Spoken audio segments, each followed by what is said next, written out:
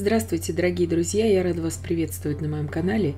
Сегодня в данном видео я готовлю очень красивую, глянцевую, плотную шоколадную глазурь без шоколада, без сливок, без желатина и без сливочного масла. Глазурь получается очень бюджетная, готовится она буквально за несколько минут, то есть займет ее приготовление несколько минут вашего времени. Получается она всегда. Здесь главное знать способ приготовления и пропорции.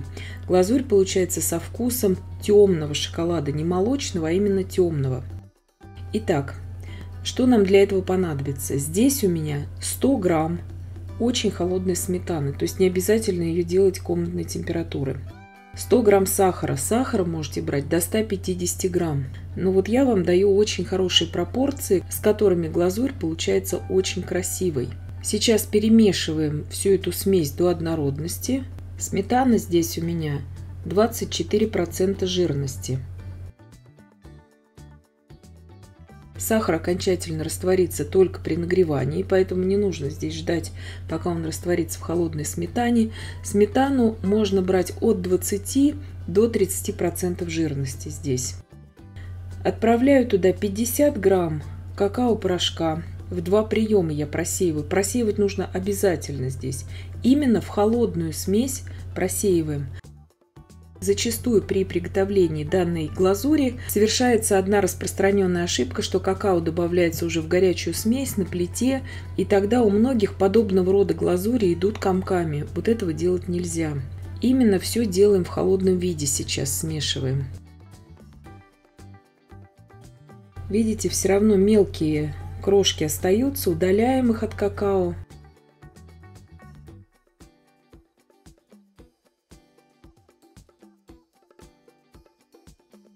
Перемешали все с какао-порошком и идем сейчас на плиту. На очень умеренном огне в кастрюле с толстым дном при непрерывном помешивании силиконовой лопаткой мы доводим всю эту смесь до кипения. Сначала смесь, естественно, у нас станет жидкой, потом она будет густеть по мере уже застывания после плиты. Обязательно нужно ее постоянно, непрерывно помешивать. Это главное здесь условие. И очень умеренный огонь.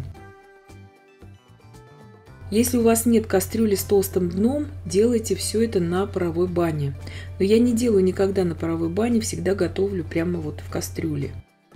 Видите, смесь начинает закипать, так и должно быть. И сейчас при первом появлении пузырей отсчитываю примерно 30 секунд. Больше я ее здесь не кипячу, эту глазурь. При непрерывном помешивании.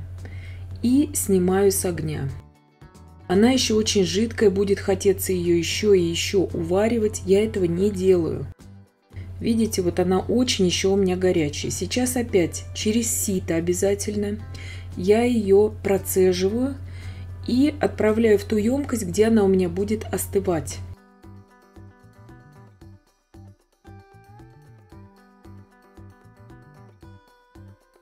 Когда мы процеживаем эту смесь через сито, все непромешанные вот эти вот комочки какао у нас уходят, и уходит лишний воздух.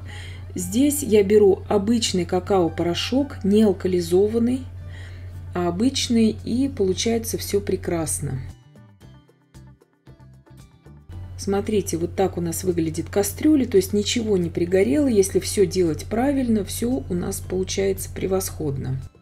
Даю сейчас постоять, ну, минут вот так вот 20, чтобы смесь достигла 40 градусов Цельсия. В помещении у меня очень холодно.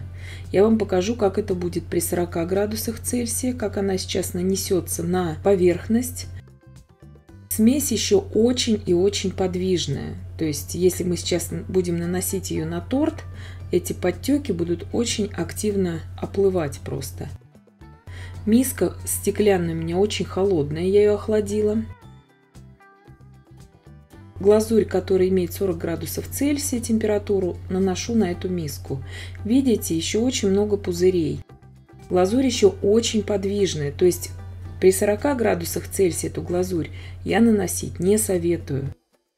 специально вам показываю здесь все варианты, чтобы вы наглядно все это посмотрели.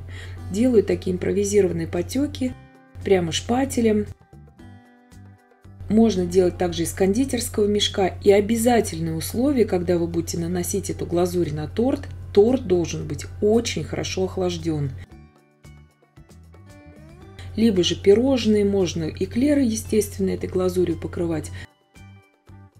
Глазурь имеет насыщенный вкус именно темного шоколада, не молочного. Вот данная глазурь. Теперь я остудила эту глазурь до 30 градусов Цельсия. И смотрите, совсем другой эффект. Она уже менее подвижная, эта глазурь. И эта температура идеальная для нанесения этой глазури.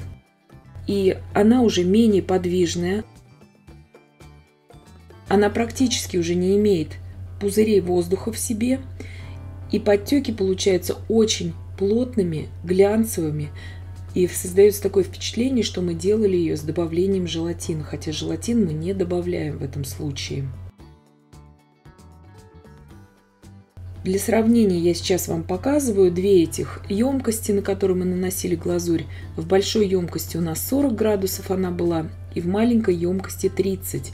Видите, где 40 градусов, естественно, она не так блестит. У нас здесь большое количество пузырей в ней, и подтеки сильно оплывают вниз. Где 30 градусов, она выглядит очень профессионально, эта глазурь, и очень красивые подтеки получаются из нее.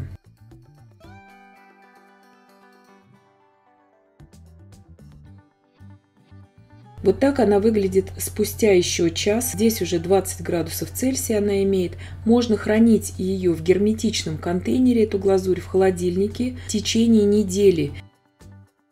Потом можно ее также разогреть в микроволновке импульсами, либо на водяной бане и наносить уже на нужное вам кондитерское изделие. Такого количества глазури, которую мы приготовили, может хватить на покрытие двух средних тортов и также на приготовление подтеков, именно отдельных подтеков для пяти примерно таких среднего размера тортов. То есть это хорошее количество здесь глазури мы приготовили.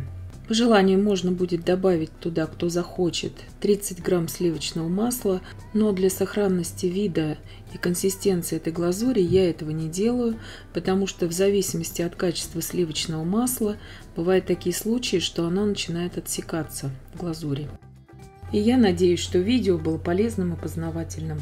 Подписывайтесь на мой канал, ставьте лайки, пишите комментарии. Я всем желаю больших успехов и до встречи в новых видео.